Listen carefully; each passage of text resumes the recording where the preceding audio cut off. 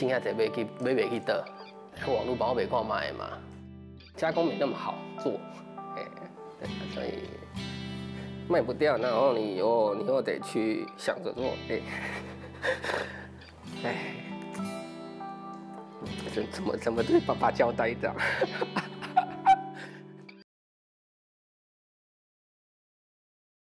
爸爸种火龙果，但看到时代的变化，传统小农是不是有新的出路呢？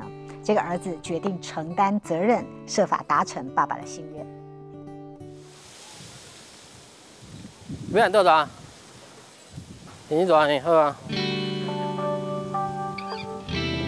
我觉得每个选择它不会只有一条路。我选 A，我永远不知道 B 是什么。可是我选了 A 之后，它不会。直直的走下去。六年前，陈正明还真不知道选择回台南新市老家种火龙果这条路会如此曲折。当初只是单纯的想帮忙老爸。有一次在田里的时候，他就问了我一句话，就说：“啊，今下在买去买袂去的，哦，然后啊，你你现在少年在搞，网络帮我买看卖嘛？要讲啊，要有一坑呢。”他知道，对父亲来说，务农这件事一直以来是既爱又怕的矛盾。种前种过来行啊，嘛种西瓜、种菜，被种啊，啊，但是啊，种往来啊，啊，都拢迄阵往价钱拢无好啊，就搁收收的，啊，搁去食头咯。为了养活我们去上班，然后到到了他可以退休的时候，他还是选择回来务农。我觉得这就是这这已经是他生活的一环。所以就当是替他圆梦吧。本来从事都市规划工作的陈正明，于是利用业余时间开脸书卖水果。一开始的好成效，让他有了转换跑道的念头。你这里行销啊，过过很过好安尼啊。啊，你袂烦恼伊做做做袂起来。啊，做袂起来，再搁去食头路呢。啊，无变喏。父亲没反对，也是看在儿子真有心想学。陈正明逼自己习惯早起生活，跟着巡园了解每一项农务工作。啊，因为世界我也甲教他个也改连你莫免个再敲着高墙，要看我这一堆块里啊。小侧芽不整理，很难让养分集中在长果的枝条上。湿腐病、金溃疡这类不移除，后果更惨。如果我可以马上看到它已经生病了的果实，那就还好。最麻烦是有时候我们做栽培，最麻最麻烦就是它它还没发病，好，那结果在运送过程中，做经过一天经过一天的运送，因为温度也高了，那它刚好诱发它它它发病。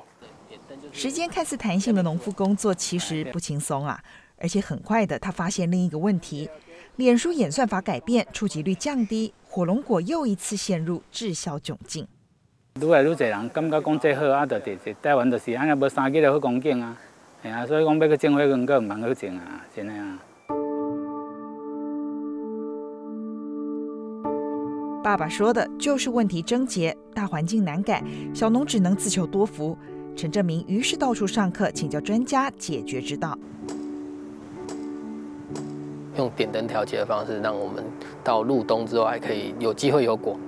那这样的话就可以跟那些跟产季错开，这样子的话相对的价格也会好一点。产季的取舍要沉得住气，他说服父亲放手一搏吧。他们在园区内架灯测光，确认枝条受光程度，模拟夏季日照状况。主要生长是在枝条了，呃，所以它主要最主要就是你枝条的光要够，它基本要求是一百二以上嘛，所以我们就这样欺骗火龙果说，哎，它现在的日照还很长。大概就是补补足十二小时的光源给他，那他就有机会说，哎，他可能觉得说现在的海的日照很长，他可以还可以继续生长。就这样慢慢把产季调整到秋冬，不料没多久却遇上了冬天产果的风险。很冷的寒流下来，那批果就全部全部报废，已经结满田里已经结满了，刚开完花结满的果，结满了那么那个小小果。结果因为太冷，全部的果全部冻坏。难道农民只能看天吃饭吗？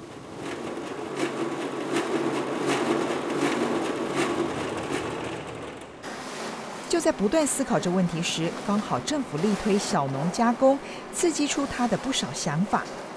我们水果是台南的，那台南另外一个特色就是日晒。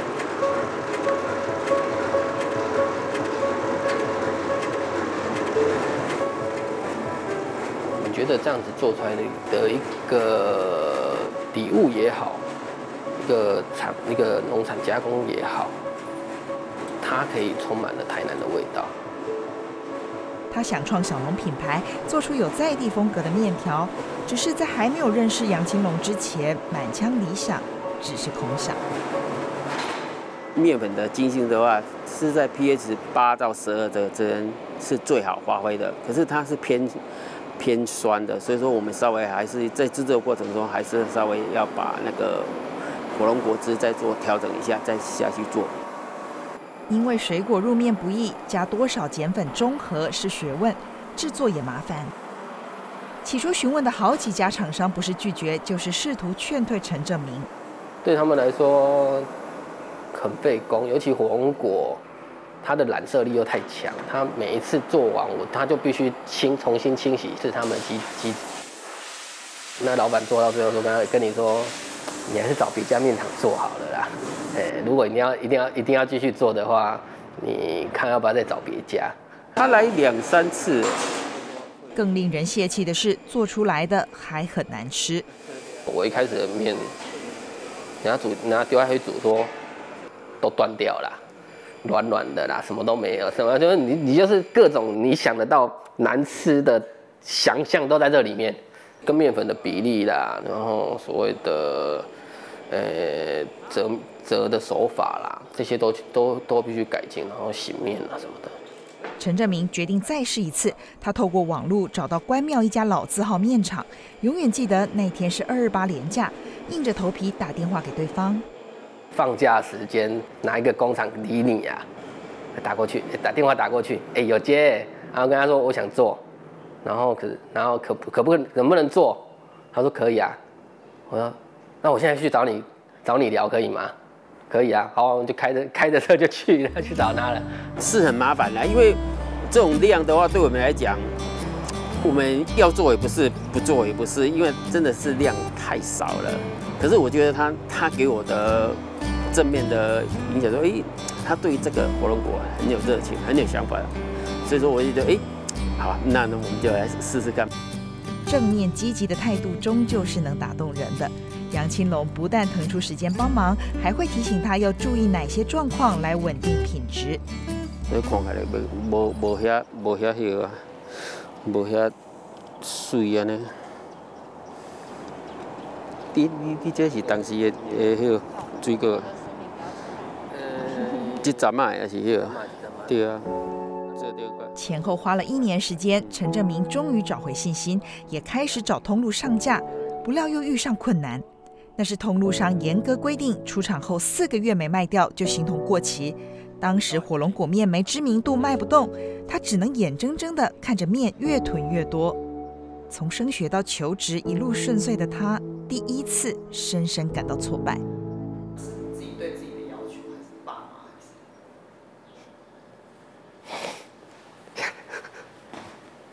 可以暂停了？发现没有那么容易的时候，真的会。有点慌，是这种感觉。对。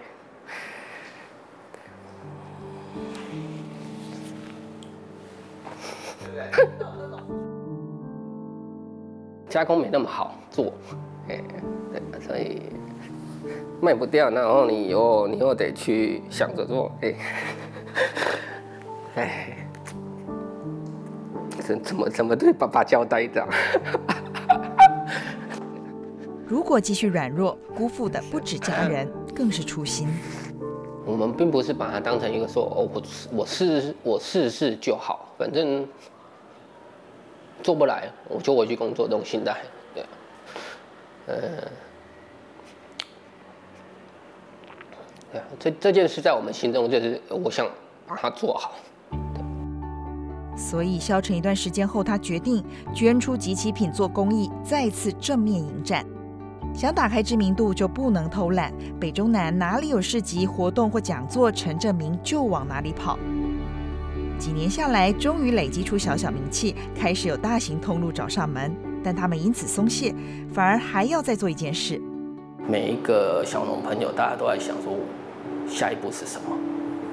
那除了传统的拍卖以外，传统的跑小龙市集之外，我们我们还有什么方式可以让更多人认识我们？Hello，大家好，我们今天要做的大概，我们今天想来做一个鲜虾芦笋。他租了空间，让农会和附近青农能一起开会讨论在地发展，也拍料理影片或直播推广农产品。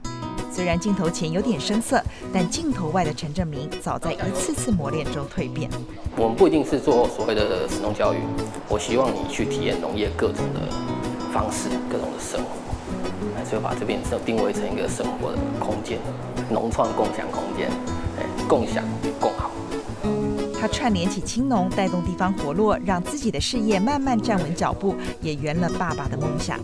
陈正明证明了人生的选择没有对错或标准答案，只有不放弃，才看得到精彩风景。不断的尝试，因为没有一个没有一个经验是百分之百正确的，只有我们试到最后接受的这个经验值才是没错，才是正确的。